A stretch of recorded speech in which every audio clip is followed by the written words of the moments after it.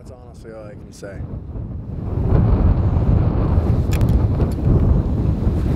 My name is Zafar Ronan. I'm part of Tabor Shahid Kabar. I've come out here to Rojava originally to help support the Kurdish people, and this is still my intent to do so. The reason why we are going to Afrin in order to fight against the forces there and save the people is because right now the rest of the world is turning a blind eye to what's really happening. I haven't done too many things right in my life, but I can honestly say this is probably one of the few things that I have absolutely no doubts about.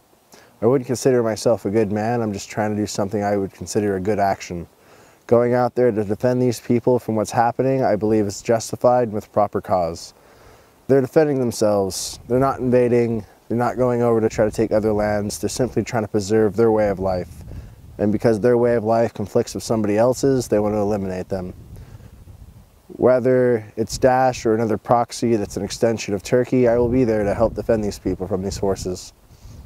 And I honestly hope when the time goes by that my daughter will understand if I don't make it out of here. Her father at least did one thing right in his life. And that's honestly all I can say.